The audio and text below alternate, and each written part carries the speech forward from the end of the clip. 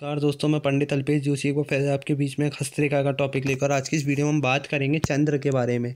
यानी कि चंद्र पर्वत से भाग्य रेखा स्टार्ट होकर अगर आपकी शनि तक जाती है, गुरु तक जाती है, मंगल तक जाती है, शुक्र तक और मंगल तक तो मैंने एक आध परसेंट ही लोगों के हाथ में देखा है, या सूर्य तक देखी है मैंने और बुद्ध तक भी बहुत ही कम लोगों के हाथों में देखी है। बट इस तरीके की कॉम्बिनेशन आपके हाथ में बनता है तो आपकी लाइफ में आप देखना, चाहे ऐसे जहाँ तक बिज़नेस करे, चाहे वो जॉब करे, अच्छी सफलता प्राप्त करता है।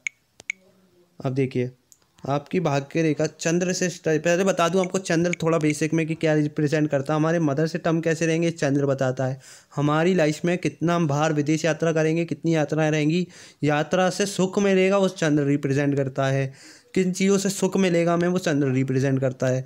सुखों का कारक देखिए, जो वैवाहिक जीवन और ऐश्वर्य ऐश्वर्य वाली चीज़ें जो होती हैं और जो कहीं ना कहीं हमारी लग्जरियस चीज़ें होती हैं, वो शुक्र रिप्रेजेंट कर पा, करता है। पर उनसे सुख चंद्र रिप्रेजेंट करता है। कहीं ना कहीं सुखों का कारक हमारा चंद्र होता है। तो चंद्र जितना उठा हुआ होगा अच्छा होगा लालिमा युक्त होगा प्लस अच्छे चिन्ह होंगे उधर, अच्छी भाग्य रेखा अगर चंद्र से है तो और ही शुभ होता है।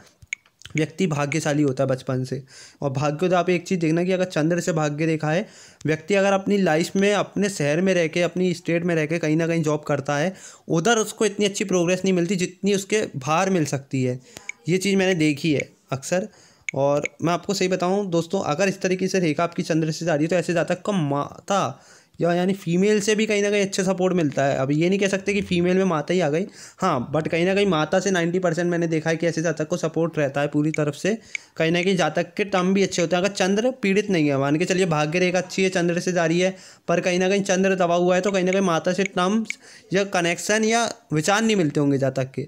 बट हाँ अगर भाग्य रेखा चंद्र से जा रही है शनि तक जा रही है तो भी अच्छी है, गुरु तक जाएगी तो भी अच्छी है, सूर्य तक जाएगी तो भी अच्छी है, कहीं पे भी जाए टू जेड पर चंद्र से उदय होने वाली भाग्य रेखा इंसान को अच्छी गवर्नमेंट जॉब अगर प्राइवेट जॉब भी करेगा तो उसको कहीं ना कहीं लाइफ में कह सकते हैं कि बाहर जाके अच्छी अपॉर्चुनिटी मिल सकती है ऐसे जातक को। अगर गवर्नमेंट जॉब में भी देखा मैंने ऐसे जातक, अच्छी सक्सेस बट हाँ स्टार्टिंग टू एंड ऐसे जातक की लाइफ बहुत ही बेहतरीन रहती है। अगर राहु रेखा नहीं है, कहीं ना कहीं हाथ में अगर क्रॉस या शुभ चिन्ह है तो अच्छा अगर अशुभ प्रभाव पड़ रहा है तो डेफिनेटली बहुत ही दिक्कत आती है ऐसे जातक की लाइफ में। बट हाँ अगर कोई अच्छे शुभ चिन्ह है, गुरु अगर अच्छा हो गया यहाँ पर तो डेफिनेटली अच्छा पोस्ट जातक लेता है लाइफ में। और अच्छा कहीं ना कहीं धन ऐसे जातक में बहुत अच्छा होता है। कहीं ना कहीं फीमेल से भी कहीं ना कहीं ऐसे जातक को धन लाभ होता है और कहीं ना कहीं यात्राओं का शौकीन होता है, यात्रा भी करता रहता है।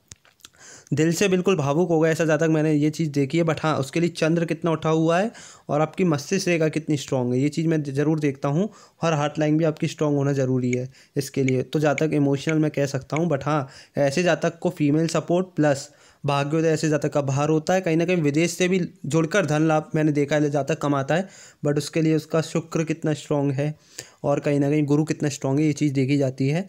और अगर शनि उठा हुआ है तो डेफिनेटली ऐसे जातक बहुत ही एक सौ एक परसेंट मैंने देखा है कि बहुत ही हाईएस्ट पोस्ट पे पहुँचता है। चाहे वो बिज़नेस करता हो तो बिज़नेस स्किल्स भी उसके अंदर ऐसी होंगी।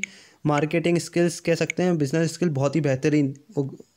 अगर बिज़नेस स्किल्स के साथ अगर ये रेखा और आ गई तीन बुध पे तो तो उम्दा ही कह सकते हैं कि एक सौ एक परसेंट ऐसा जाता है बहुत ही बिज़नेस मैन बन सकता अच्छा।